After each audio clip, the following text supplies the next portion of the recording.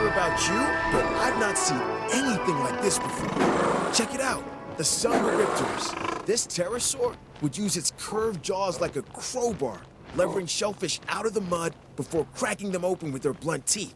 That's pretty resourceful, huh?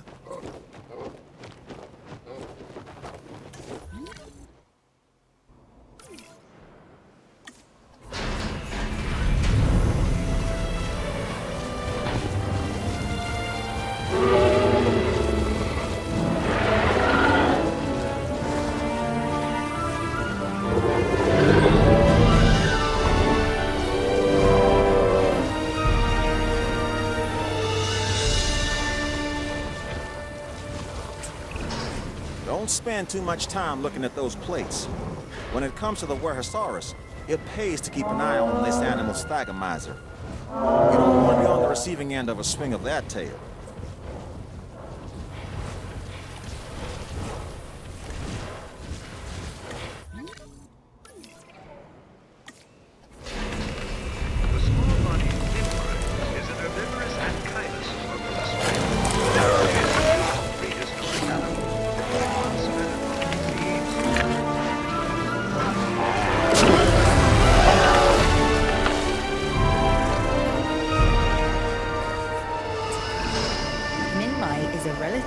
Small, armored herbivore from Cretaceous Australia. What sets this species apart from other members of its family are the horizontally orientated plates that run along the sides of its backbone. Hence the binomial name, Minmi paravertebra.